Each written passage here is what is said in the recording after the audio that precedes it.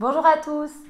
Aujourd'hui, dans cette vidéo, je vais t'expliquer pourquoi éviter les sujets du passé avec son ex c'est que généralement, tu sais qu'il va pas falloir parler euh, de choses finalement euh, par rapport à votre relation précédente.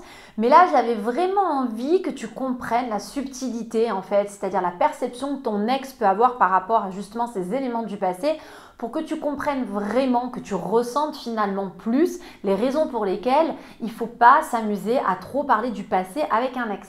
Tu l'as entendu, on te l'a répété, tu l'as sûrement lu. Oui, ça fait partie des interdits généralement de parler du passé à son ex, mais j'ai vraiment à cœur que tu comprennes pourquoi c'est pas finalement très intelligent.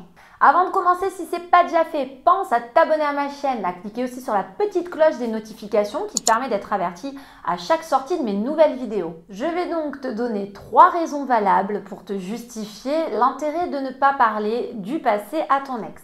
Première raison, votre perception du passé est différente. Si pour toi le passé évoque de bonnes choses, il y a fort à parier que ce soit vu de manière tout à fait différente par ton ex. Et la raison, elle est complètement logique finalement.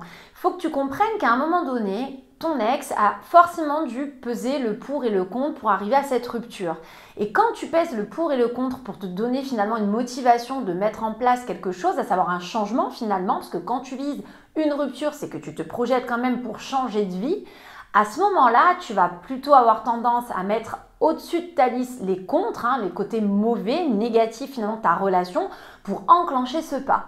Ce qui fait que quand toi, tu vas penser plutôt à cette balade au bord du lac qui était géniale à l'époque avec ton ex et où ton ex était heureux ou heureuse aussi hein, de partager cet instant avec toi, tu auras tendance du coup à avoir tous ces moments sympas, nostalgiques, ces bons moments de partage que vous aviez, là où ton ex va plutôt réfléchir de manière différente en se rappelant sans doute de ce moment au bord du lac, mais en switchant très vite le bon moment pour relater le fait qu'après, à la maison, pour autant, tu ne faisais rien ou que tu avais été trop égoïste pendant la relation et que justement, mais quel gâchis ce que je veux donc mettre en évidence dans cette vidéo, c'est que là où toi, tu vas penser à un moment donné qu'en parlant d'un moment nostalgique à ton ex, tu vas l'amener avec toi dans ton univers romantique, finalement, tu risques de faire complètement l'inverse. C'est-à-dire de susciter chez ton ex une pensée plutôt négative. Moi qui adore les exemples, je vais te faire faire un parallèle. Oublie ton sentimental, pense au travail.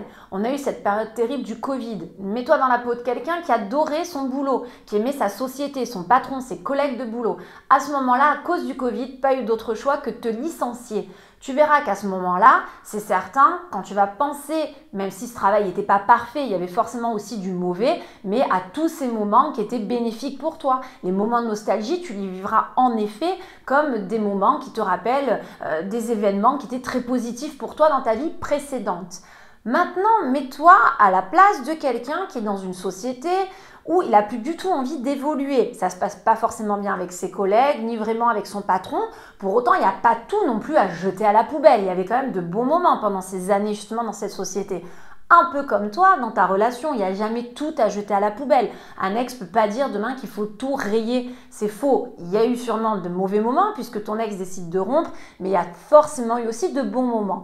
Pour autant, si tu te mets à la place donc, de cette personne qui veut quitter sa société, tu vas voir que tu auras beaucoup plus tendance à te rappeler des mauvais moments, ce qui n'allait pas, que ce soit avec tes collègues, ton salaire ou tes objectifs, pour te donner le baume au cœur nécessaire de tenir bon dans ta démarche de démissionner, d'aller chercher un autre emploi. Là, ce que je veux donc te montrer, c'est que c'est finalement une réaction qui est parfaitement humaine que d'essayer de mettre en évidence plutôt le négatif que le positif quand on veut arriver à avancer. C'est pour ça que lorsque toi, tu auras tendance à penser au bon moment avec ton ex, ça va t'amener à des sentiments de manque et de nostalgie, ton ex aura plus de chances de voir ça comme une période plutôt anxiogène.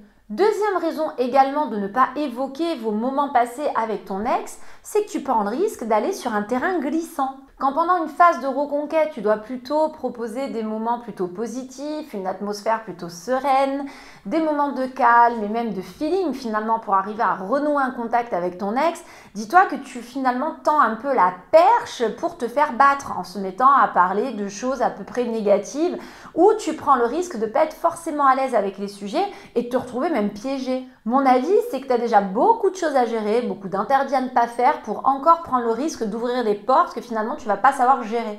À ce moment-là, parler du passé avec ton ex, c'est te mettre un petit peu en danger, face à quelqu'un qui euh, va tenter à ce moment-là de reparler des reproches, des rancœurs.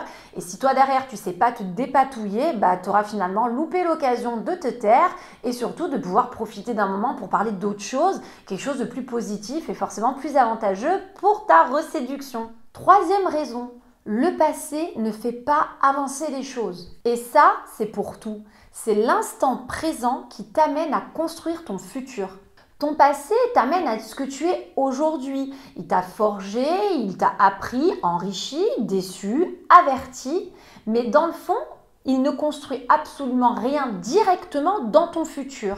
C'est ton présent qui te permet de construire ton futur. C'est pour ça que dans la relation à venir avec ton ex, quoi qu'il en soit, il vaut mieux tout miser sur les instants présents pour parler plutôt de projets futurs, de projections, mais ça sert absolument à rien de revenir dans le passé, ce qui va finalement t'amener à reparler des choses négatives et pas du tout constructives pour l'avenir.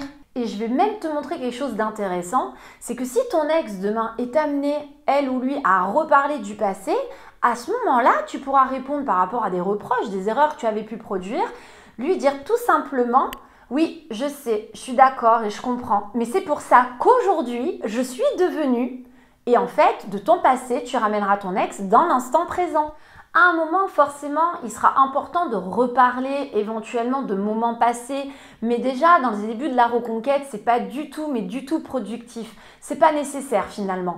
Bien sûr que pour crever des abcès, quand on veut repartir dans une relation à deux, il va falloir évoquer ce qui ne se passait pas bien ultérieurement. Mais aujourd'hui, si tu es dans une phase de reconquête et que tu n'es pas encore dans l'idée avec ton ex de vous redonner une chance parce que ton ex ne te l'a pas encore permis, tu es loin, loin pour le moment de devoir aborder ces sujets-là.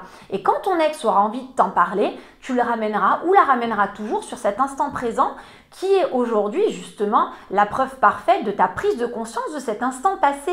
Mais tu vas pas aller évoquer le passé ou te servir de ton passé pour aller euh, radoter sur tout ce que tu as pu comprendre aujourd'hui. Et puis fais-moi confiance, il y a un temps pour tout. Si demain réellement ton ex a vraiment besoin de crever un abcès et tu le ressentiras, à ce moment-là, pourquoi pas? Mais dis-toi que c'est parce que tu te sentiras armé et capable justement d'aller sur ce terrain un petit peu miné. Mais en attendant, si aujourd'hui les portes ne sont pas ouvertes, laisse tomber, ne va pas du tout de ce côté-là, reste axé plutôt sur ton futur, sur ton instant présent et tu verras que ce sera beaucoup plus productif même dans ce que tu vas renvoyer comme image. Allez, j'espère que cette vidéo va t'aider, t'éclairer te permettre de bien comprendre et d'appréhender l'intérêt de ne pas parler justement du coup de tes moments passés avec ton ex. Pense à t'abonner à la chaîne si c'est pas déjà fait, à cliquer sur la petite cloche des notifications pour être averti à chaque sortie de mes nouvelles vidéos, au petit pouce d'encouragement si cette vidéo, ce contenu te convient. Et je te dis à très bientôt pour la suite de mes vidéos.